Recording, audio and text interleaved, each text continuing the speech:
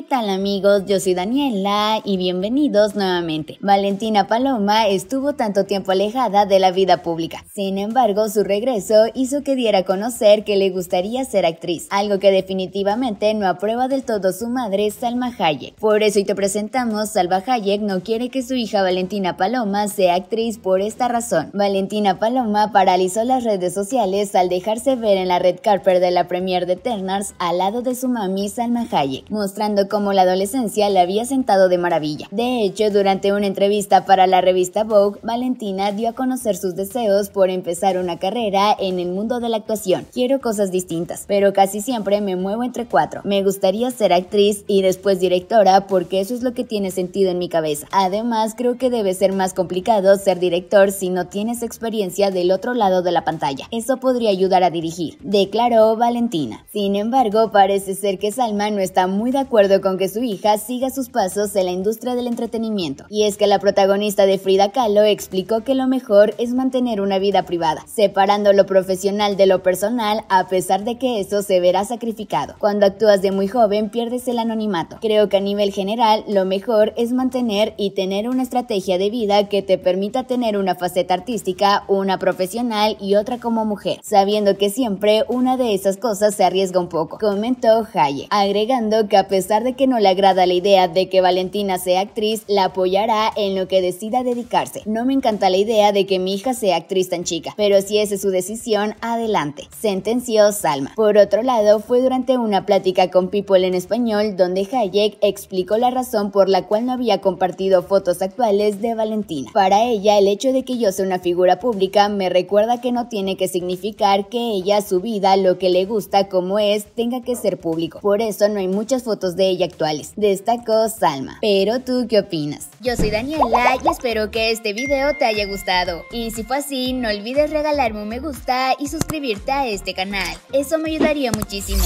Nos vemos en el próximo video.